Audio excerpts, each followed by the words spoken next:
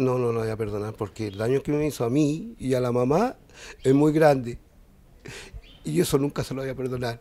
A quien don Carlos no perdona es a su nieta, la joven de 16 años, que él y su esposa María Luisa Vera Arenas criaron desde los dos meses de vida como si fuera su hija y quien ahora es indicada por la policía como la presunta coautora del robo con homicidio que terminó con la vida de quien cumplió el rol de madre. La adoraba la Luisa, la adoraba. Era su su hija que nunca pudo tener.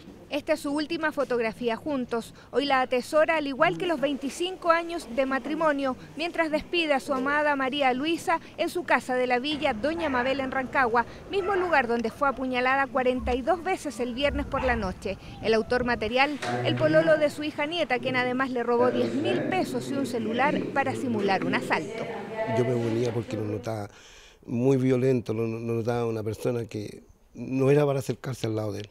Ellos se ponen de acuerdo, ¿cierto?, conversando en torno a si es que tenían el martillo en la casa, lo cual efectivamente la imputada eh, le relata efectivamente, lo tengo en mi pieza el martillo, acto seguido le pregunta, por ejemplo, le dice, ah, pero efectivamente, ¿y tú todavía guardas el cuchillo? Sí, todavía guardo el cuchillo. Según los registros de WhatsApp, la planificación habría comenzado el 5 de marzo, aunque la defensora de la joven, de quien se declaró legal la detención, asegura la inocencia de su representada ella lo niega el tema de estos mensajes, son antecedentes que el Ministerio Público abortó, ¿no es cierto? Se tratarían de mensaje WhatsApp, por lo tanto puede ser enviado por cualquier persona. Ambos imputados serán formalizados este miércoles por robo con homicidio. Si fueran adultos arriesgarían presidio perpetuo calificado, es decir, 40 años de cárcel sin beneficios, pero son adolescentes, por lo que la pena máxima alcanzaría los 10 años. De ahí que la familia de María pide mano dura para la delincuencia juvenil. Yo creo que las penas deben ser altas, porque si no esto no se va a parar.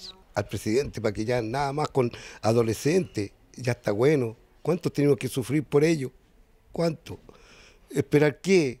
¿Que sigan matando personas inocentes? Ambos jóvenes se mantienen recluidos en el Sename de Graneros, mientras este martes María Luisa Vera será sepultada en el cementerio número 2 de Rancagua.